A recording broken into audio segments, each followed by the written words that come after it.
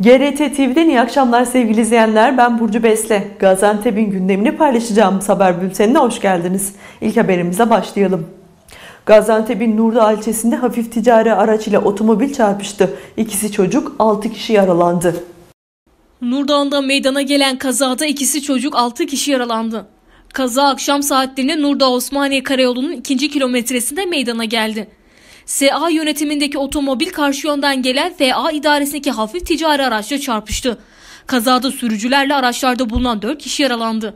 Yaralılar çevredekilerin ihbarı üzerine olay yerine gelen sağlık ekipleri tarafından Nurdağ Devlet Hastanesi'ne kaldırılarak tedaviye alındı. Kaza ile ilgili soruşturma başlatıldı. Nizip ilçesinde bir evde çıkan yangında 5 aylık bebek öldü. İki çocuğunu alevlerin arasından kurtaran anne 5 aylık bebeğinin ise cansız bedenine ulaşılabildi. 5 aylık bebek çıkan yangında can verdi. Nizip ilçesinde Çanakçı mahallesinde bir kadının 3 çocuğuyla birlikte kaldığı evin oturma odasından dumanlar yükseldi. Anne iki çocuğunu alarak dışarıya çıkarmayı başardı. 5 aylık bebeği dumanların arasında kalan genç kadın yoğun duman nedeniyle tekrar eve giremedi. Komşularından yardım isteyen anne tüm çabalarına rağmen bebeğine ulaşamadı. Olay yerine gelen itfaiye ekipleri tarafından bebeğin cansız bedenine ulaşıldı. Bebeğin ölüm haberini alarak hastane morguna gelen baba ise büyük acı yaşadı. İtfaiye ekipleri tarafından söndürülen yangının sebebi ise henüz araştırılıyor.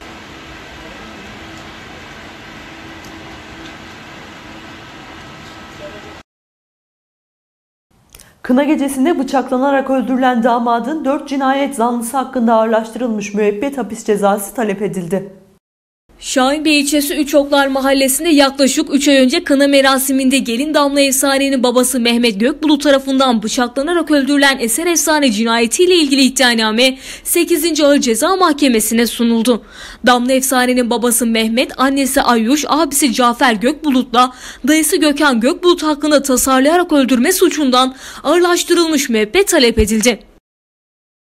Ayrıca Cafer Gökbulut hakkında damadın annesi Meryem Fidan'ı bıçakladığı için kasten öldürmeye teşebbüs suçundan 20 yıla kadar hapis cezası istendi. İddianamede sanıkların ifadeleri de yer aldı. Gelinin babası Mehmet Gökbulut Eser Efsane'nin kızını Kahramanmaraş'a kaçırdığını öne sürerek ibret olsun diye cinayeti işlediğini, kına gecesinde damadı öldürmek için uygun anı beklediğini söyledi. Gerçekleşen iki hırsızlık olayında biri para dolu poşetini unuttu, diğeri ise çaldığı ziynet eşyalarının iki katı tutarındaki dolarların yerini bulamadı. Hırsızlardan biri paraları doldurduğu poşeti masada unuturken diğeri ise çaldığı ziynet eşyalarının iki katı tutarındaki dolarların yerini bulamadı. İslahiye ilçesi Atatürk mahallesinde meydana gelen ilk hırsızlık olayında gece Osman Gözel'e ait markete giren ve kimliği belirsiz hırsızın şaşkınlığı güvenlik kameralarına yansıdı. Görüntülerde şahıs önce kasadaki madeni paraları çıkararak poşete koymaya çalıştı. Uzun uğraşlar sonucu paraları poşete yerleştiren hırsız para dolu poşeti masada bırakarak hemen raflardaki sigaraları montun içerisine doldurmaya başladı. Birkaç paket sigarayı ve ağzıyla tutmaya çalıştığı cep telefonunu yere düşüren hırsız bu kez sigara paketlerini poşetlere doldurdu. İki eline sigara dolu poşetleri alan şahıs masa üstündeki para dolu poşeti unutarak kaçtı. Aynı gün Gaziantep'te meydana gelen Sulumağrı mahallesinde Kübra Kayın evine giren hırsızla her tarafını dağıttığı evde bulunan yaklaşık 5000 TL tutarındaki altın ziynet eşyası, para ve doları alarak kayıplara karıştı. Her tarafı didik didik arayan hırsızın evde bulunan 1700 doları ise bulamaması hem şaşırttı hem de sevindirdi. Girmiş. Divanlara yani her yeri kurcalamış. Hani altınlar vardı, dolar vardı. Ne götürmüş? Yani üç çeyrek, bir kolye, e, 100 dolar. Yani yüzük falan vardı. Ne kadar toplam? Yani toplam 5000 vardı. Abi sadece sigaraları almış. Başka? Ee, başka bozuk paraları falan bir poşete koymuş ama masanın üzerinde unutup gitmiş. Boşaltıyor. Poşete dolduruyor, poşette unutup gitmiş. Ne kadar alamadığı para? E, çok bir şeyler 200-250 lira arası. Peki. Ya, tahmini 8-10 bin lira arası. Yani. Ee, e, 15 dakika falan sürmüş. 10. Ee, bu sabah dükkanı açtığımızda fark ettik. Kapıyı Nasıl fark kilitleyip- ettin? İşte abim dükkanı açtığında fark etmiş. Kapıyı kilitleyip gitmiş. Normal kilit yok tam üzerinde. Kapıyı açmış bakmış sigaralar yok. İlk iş olarak polisi aradı. İşte eldiven taktığı için parmak izine ulaşılamadı. Ama kayıtlarda hırsız belli yani şahsın yüzü falan belli. Gaziantep'in düşman işgalinden kurtuluşunun 98. yılı kutlama etkinlikleri çerçevesinde Şehit Kamil Belediyesi tarafından düzenlenen ortaokullar arasında 3. geleneksel futbol kuruluş kupasında zirvenin sahibi belli oldu. Şehit Kamil Belediyesi tarafından düzenlenen 3. geleneksel ortaokullar arası futbol kurtuluş kupası Gazikent Stadyumunda oynanan final müsabakalarının ardından sona erdi.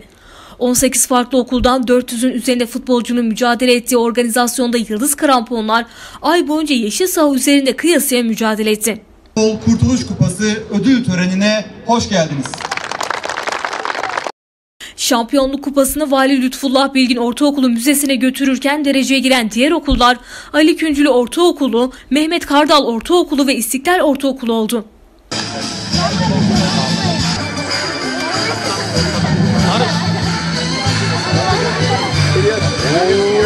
Türkiye Futbol Federasyonu Gaziantep İl Temsilciliği ve Türkiye Futbol Antrenörleri Derneği Gaziantep Şubesi'nin destekleriyle gerçekleştirilen organizasyonda branş özgü yetenek taramaları da gerçekleştirildi.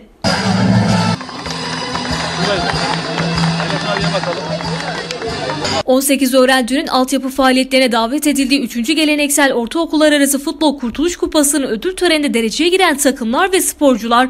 ...branş özgü spor malzemeleriyle ödüllendirildi. Tebrik ediyoruz. Ödül töreninde katılımcı sporcu ve sporcu velilerine seslenen Şehit Kamil Belediye Başkanı Rıdvan Fadıloğlu, organizasyona katılan sporcuların paylaşma ve dayanışmanın örneklerini sergilediklerini söyledi. Güzel coğrafyada huzur içerisinde hep birlikte yaşıyoruz. Bize düşen atalarımızın bize emanet olarak bıraktığı bu toprakları ilelebet Türk yurdu olarak tesis etmek, bizden sonraki nesillerin de bu topraklarda güvenli olarak yaşamasını sağlamak. Bugün eğitim öğretim çağında olan bu yavrularımızın kardeşlik hukuku çerçevesinde bir turnuvasına şahit olduk. 18 farklı takımdan yaklaşık 400 sporcumuzun katıldığı burada biri biriyle kardeşlik hukuku içerisinde yarıştığı ama temelinde paylaşmanın, dayanışmanın örneğini sergilediği bir turnuva gerçekleştirdik. Bunun içerisinde birincisi, ikincisi, üçüncüsü, on beşincisi olabilir. Esas olan burada fair play çerçevesinde nezaket, edep, adap çerçevesinde yarışmaktı. Biz Şehit Kamil Belediyesi olarak özellikle yıl boyu etkinlikler çerçevesinde 365 gün futbol akademisi eğitimlerini devam ettiriyoruz. Bu turnuvada da özellikle eğitim çağındaki çocuklarımızdan akademiye devam etmeyenlerin belki içerisinde yıldız olabileceklerini ortaya çıkarabilmek adına aynı zamanda bir tarama organizasyonu oldu. Biz yine bu organizasyonlarda işin mutfağı olmaya talip olduğumuzu hep başta söylemiştik. Bizim derdimiz bu işin amatör kümesine kadar en alttan başlayıp amatör kümeye kadar eleman yetiştirebilmek. Bir haberin daha sonuna geldik. Tekrar buluşuncaya dek hoşçakalın.